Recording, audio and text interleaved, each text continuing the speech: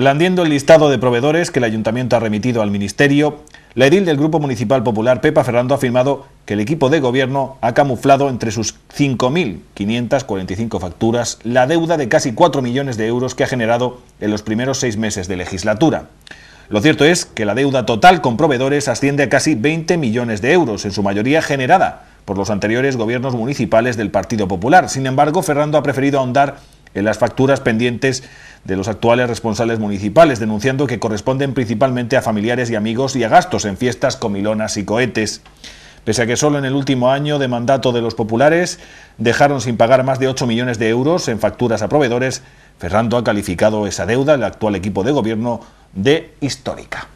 Si hacemos la progresión aritmética, estaríamos hablando que si el tripartito eh, aguantase hasta el final de la legislatura, generaría una deuda de hasta 24 millones de euros. Porque no hay que olvidar que a las, a las facturas que aquí aparecen, a esos 4 millones de euros, habría que sumar el gasto a manos rotas que han realizado durante estos seis meses y que sí se ha pagado a sus amigos y familiares, en detrimento de eh, otros proveedores que, habiendo realizado su trabajo con anterioridad, sus facturas han quedado fuera de este listado. Hay que tener la cara muy dura, que es lo que ya ha demostrado este equipo de gobierno, para decir que el Partido Popular es el derrochador, porque ya hemos visto cómo ellos confunden ahorro con pago a familiares o con dejar en el cajón el pago de facturas tan importantes como es la luz que día a día se necesita